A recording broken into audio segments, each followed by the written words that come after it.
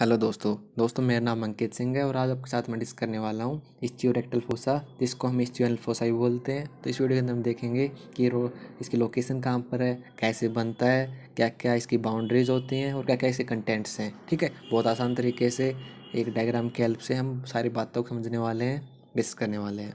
तो सबसे पहले नाम से पता चल रहा है कि एक ये आपका rectal ischio ischio tuberosity ischial region और एक जो एक रेक्टम रीजन है मिड लाइन वाला। इनके बीच का जो स्पेस होता है ना, उसी को बोलते हैं इस्चियल रेक्टल फोसा ठीक है?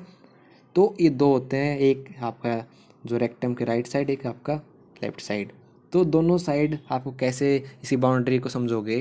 तो सबसे पहले हम स्ट्रक्चर समझ लेते हैं। तो स्ट्रक्चर समझने के लिए तो ये दो तो ये तो आपका इस्चियल ट्यूब्रोसिटी इस्चियम का पार्ट और ये आपका रेक्टम तो रेक्टम का जो इसके क्रॉसपोंड आता है, वो आता है आपका ये होता है एक्सटर्नल एनल स्पिंक्टर ठीक है?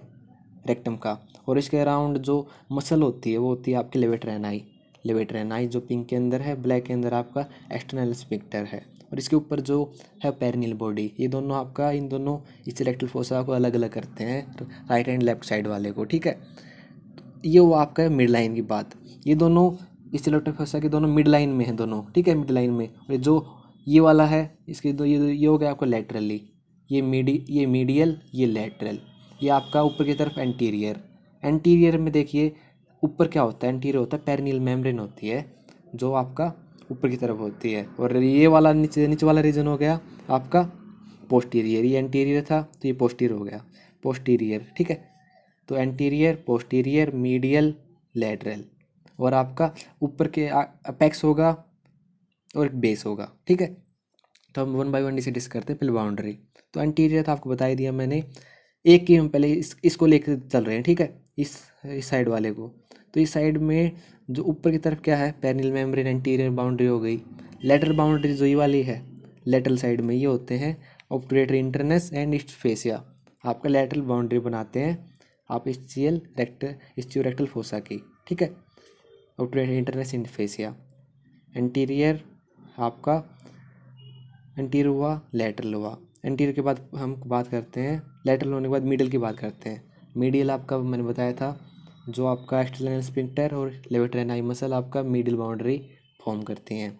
उसके बाद आता है लेटरल हो गया मिडल हो गया एंटीरियर हो गया। उसके बाद आता है आपका पोस्टीरियर तो पोस्टीरियर आपकी कौन सी लिगामेंट है? ये लिगामेंट है, जो सैक्रोट्यूबरस लिगामेंट होता है, वो सैक्रोट्यूबरस लिगामेंट और आपका ग्लूटिस मैक्सिमस मसल आपका लेटरल बाउंड्री बनाती हैं। सैक्रोट्यूबरस लिगामेंट और आपका ग्लूटिस मैक्सिमस मसल आप लेटर बाउंड्री और जो आपके बीच में जो ये कनेक्शन होता है, इसको बोलते हैं हॉर्स चूरिसीज ये आपका कम्युनिकेशन होता है, जो आपका दो रेक्टल फोसा होते हैं उनके बीच में, ठीक है? तो एक आपका, एक इन्फेक्शन है तो इसके थ्रू आपका दूसरे के अंदर आराम से हो सकता है। तो इसको बोलते हैं मोरस चूरिसेस ठीक है? तो ये इसकी बाउंड्री की बात इसके अलावा दो चीज़ और बच गई पैक्स और बेस जो बेस होता है वो आपका नीचे की तरफ़ मतलब skin of gluteal region form करता है और अपेक्स होता है आपका जो fusion of levator ani and obturator internus muscle ठीक है? तो ये आपका अपेक्स बेस की बात हुई। अपेक्स बेस याद रखना आपको, ऊपर की तरफ़ नीचे की तरफ़। बेस आपका skin of gluteal region apex आपका fusion of levator ani and आपका ऑप्टोरेटरी इंटरनेस मसल तो आपका ये होता है इसकी बाउंड्रीज जो आपको इस डायग्राम के हेल्प से आप बना सकते हो और डायग्राम बनाओगे तो और अच्छा रहेगा। तो इसे कंटेंट के लिए हमें कोरोनल सेक्शन देखना होगा। तो आपको यदि हम कोरोनल सेक्शन देखते हैं तो आपको ये वाला जो रीजन है, ये आपका लिविटर नाई मसल है, ये आपका अंदर एनल फेसिया है, और ठीक है। तो इसको हम तीन पार्ट डिवाइड कर सकते हैं, इस फोसा को ही। तो जो सबसे नीचे वाला पार्ट होता है, वो होता है आपका पेरिन पेरिनल स्पेस ठीक है। यहाँ पर नॉर्मली फैट रिप्रेजेंट होता है। ये आपका हिस्टोरेक्टल फोसा प्रॉपर होता है और तीसरा आपका सुपरा टेगमेंटल स्पेस होता है। तो ये आपके तीन पार्ट हैं perianal space in rectal fossa proper and आपका सुपरा टेगमेंटल स्पेस इसके अंदर जो कंटेंट है, वो कौन से, एक तो पुडेंडल के नाल रहती है कंटेंट के अंदर। पुडेंडल के नाल के अंदर कौन सा कौन सा रहता है? पुडेंडल नव और आपके इंटर पुडेंडल वेसल ठीक है? पुडेंडल नव की सप्लाई होती रूट वैल्यू होती है S two S three S four ये आप पुडेंडल के नाल की कंटेंट होते हैं।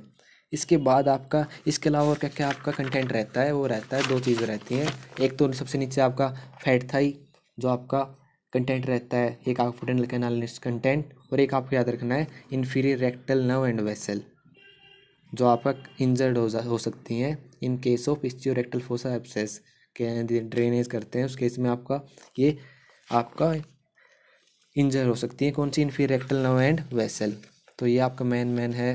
कि आपको इस चेरोटल फसा के अंदर बनता कैसे, उसकी बाउंड्री क्या क्या है और कैसे कैसे उसके कंटेंट हैं, ठीक है? तो आप डायग्राम बनाइएगा और आप इनको रिप्रेजेंट कीजिएगा। तो आपको बहुत कम टाइम के अंदर, बहुत कम एफर्ट के बाद आपको ये चीज़ें याद हो सकती हैं। तो इससे आपको एक अच्छा आइडिया लगा है इस वीडियो से तो वीडियो को लाइक और चैनल को सब्सक्राइब ज़रूर कीजिएगा, जिससे आपको आने वाले वीडियो को पता चल जाए। और इससे अलावा बहुत सारे वीडियो मैंने ऑलरेडी बना रखे हैं। आप जो है ना प्ले लिस्ट है, अपना प्ले लिस्ट है, उसमें जाके चेक कर सकते हो, देख सकते हो। तो वीडियो को देखने के लिए थैंक यू बाय